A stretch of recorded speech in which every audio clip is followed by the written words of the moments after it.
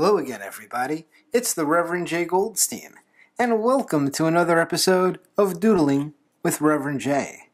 In today's episode, we're going to be drawing an order of French fries. Now, French fries are delicious. They're found on almost every dinner plate in America. It's true. And they're made out of potatoes, which are fun. So let's draw some. Now, some people might draw an order of french fries is a styrofoam box, but I like to go a little bit more retro and draw the paper sleeve. So let's do that. I like to start with a nice diagonal line. Not too diagonal. Something like that. Then come over a little bit and make the opposite line. A diagonal line going back the other way. Connect those two at the bottom with a straight line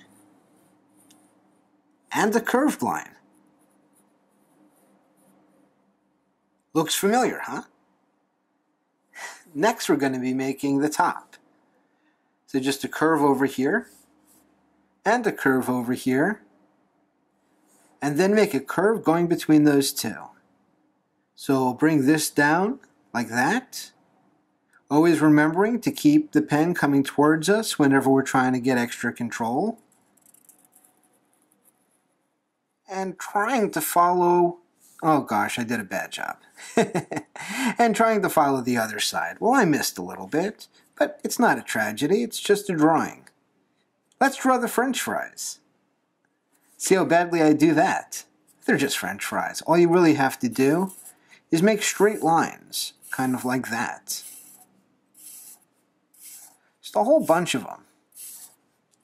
Pretty much in the same direction. Makes it easier. Then all you have to do is put tops on the french fries. Like that. Little squares or diamonds, if you will. Maybe you're making trapezoids. I don't know how fancy you are.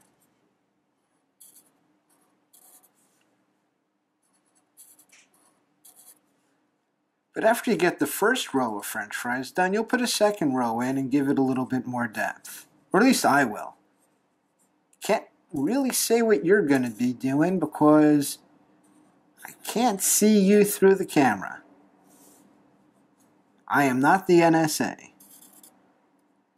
So now we'll just bring up a couple more lines in the back like that.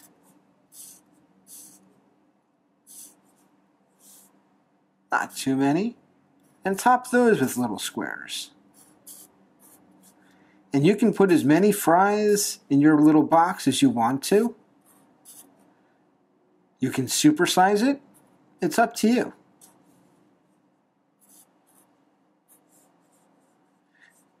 Some people used to call these um, freedom fries. I don't know if anybody still does that. But this is basically the pattern you're going to be doing to make fries inside the box is just straight lines topped with these little squares. And you can use the point, this little bottom part here, to create where the shadow will be. you see how you just color into the left of those little points? And that'll give your french fries a little bit of depth. It's not a fancy trick, but there you go.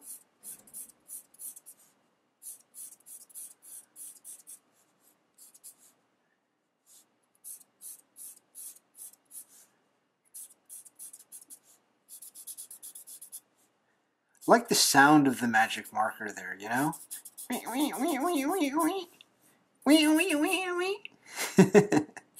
uh, any other spaces you have left over, you can make little shorter ones up front, like that. Or even in the middle, like over here. Just make a little square, find the point, draw the line down, and color it in. Now we have what looks like an order of french fries. And if you want, you can even decorate the box.